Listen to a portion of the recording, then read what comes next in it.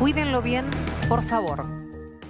Cuídenlo bien, por favor, es el final de la nota que estaba junto al bebé que dejaron abandonado dentro de una bolsa en Lomas de Zamora. Una mujer lo encontró y una mamá muy joven lo amamantó. No sé si están esperando algún examen o algo. Lo tienen a bebé allá. Así bueno, no se sabe quién lo tiró al bebé bajo el carro de los caballos. Así lo relata el vecino. El chiquitito había sido dejado bajo un carro en una calle del barrio Olimpo y ahí lo vio, como te contaba una vecina, que lo había escuchado llorar. La señora no se animó ni siquiera a agarrarlo, entonces le pidió ayuda a Belén, que es una mamá de una nena de un año y que estaba yendo a comprar justo a la feria. Belén no dudó, lo levantó, el bebé lloraba y solo unos segundos después decidió darle la teta para amamantarlo, para calmarlo, mientras esperaba que llegara la policía. Y junto al bebé había una nota. Y decía lo siguiente, se llama Jesús. Su mamá no aguantó el parto y murió. Su padre lo abandonó apenas él venía por el camino. Por favor, cuídenlo bien. Yo solo soy de la calle y no tengo nada para él. No quiero que él pase hambre, como yo, ni frío. Nació el 8 de septiembre, a las 4.30 de la madrugada. Cuídenlo bien, por favor. El nene fue llevado al Hospital Gandulfo y ahora se encuentra en neonatología y en buen estado de salud. Y estamos en vivo, trabajando en el hospital. Pepi, buenos días, todos muy conmocionados por lo que estábamos leyendo, por lo que estamos escuchando. ¿Qué se sabe de Jesús, este bebito abandonado y rescatado?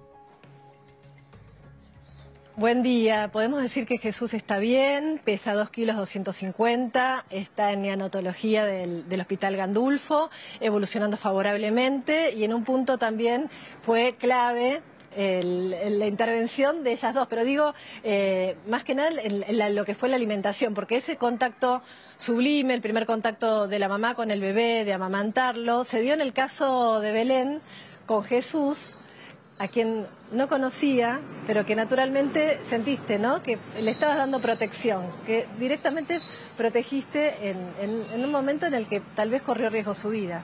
Sí, sí, inmediatamente reaccioné rápido, por suerte, y no lo, no lo pensé en asistir. La, la- la felicitan, vinieron con cosas al Gandulfo, bolsas, eh, pañales que les trajeron, eh, y, y bueno, se sienten satisfechas, pero también un poco eh, con nostalgia porque se van de- de- después de haberlo visto a través de una claraboya. Sí, La verdad que sí, eh, triste porque lo queríamos ver un poquito más de tiempo, pero feliz de saber de que está bien, de que está en un lugar que donde lo están cuidando y, y que va a salir y bueno, va a encontrar una familia que lo quiera, que lo, lo ame, que lo mime. Así que bueno, estamos felices las dos, creo yo. La jefa de neonatología contaba que la alimentación fue fundamental para que no tuviera un problema de hipoglucemia, que podía generarle otro daño al bebé. Eh, ¿Cómo te nació? No, eh, tengo una hija de un año y medio y, y bueno, toma el pecho y el bebé lo veo que está llorando, entonces lo primero que dice, bueno, tiene hambre seguramente y, y, y, bueno, le di, le di la teta. La sensación, Eh, mucho, un montón de sensaciones, un montón de sensaciones, tristeza, eh, susto, miedo, eh, pero bueno, él lo- me salió, me salió de querer ayudarlo y reaccionar rápido. como cualquier mamá decías vos antes, ¿no? Acá Belén los está escuchando, chicos. Gracias, Pepi. Hola, Belén. Eh, estamos realmente todos muy impactados por la historia, pero eh, ¿sabes qué? Tu, gesto demuestra de, de que podemos dar la teta a cualquier bebé que lo necesite. Es un doble mensaje, ¿sabes?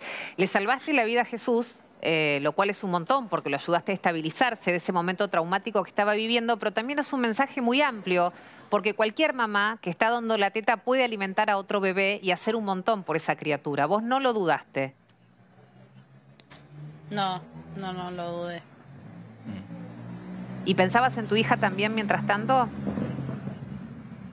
Sí, sí, porque es la, mira, primera hija que tengo y, y es, es, es distinto, o sea, todo nuevo, eh, Claro. empezar de, de cero con un bebé chiquitito y bueno, y por suerte agarró, tomó, Eso te iba a decir, se prendió, se calmó. Sí, Sí, se tomó y bueno, tomó un poquitito y después se durmió porque él lo que quería era abrazo y Claro. calor. Estaba desprotegido, estaba desprotegido y lo lograste calmar Sí. hasta que llegaron a, a buscarlo. Eh, estuviste en el momento justo, Sí. en el lugar indicado e hiciste lo que había que hacer, ¿sabes? No hubiera sido lo mismo para ese bebé sin que le des la teta. Sí, no, no sé qué, no sé, Dios me mandó y, y estuve justo ahí y bueno, también gracias a esa señora que, que llamó la atención que el bebé estaba ahí, que lo escuchó y Menos mal. si no, si no sería distinto, distinto Sí. al relato. Bueno, eh, le quiero preguntar a Mauro, este, porque eh, vaya a saber si la carta es cierta, si Claro. el contenido de la carta es cierto, Claro. o si realmente lo abandonó su madre, qué Tenés que pasó. investigarlo igual. Pero ah, eso, hay Sí, una sí. investigación, Sí, sí, una causa radica en la Fiscalía de Loma. se buscan, no sé si cámaras que hayan visto, Tenés que detectado. reconstruirlo. Sí, sí. Sobre todo también evaluar, no parece ser el caso, si había riesgo, digo, por la cantidad de gente, alguien te puede decir, bueno, había riesgo potencial de muerte o no, no creo que sea el caso por, por dónde lo deja, en situación de que mucha gente lo asista. Nosotros casos que hemos contado que los dejan adentro de, un, Ah. de la basura y no tienen chance de sobrevivir, pero tiene que investigar la justicia igual y determinar qué pasó y si todo esto es cierto. Y si es cierto es muy dramático, ¿no? También. No, pero es terrible.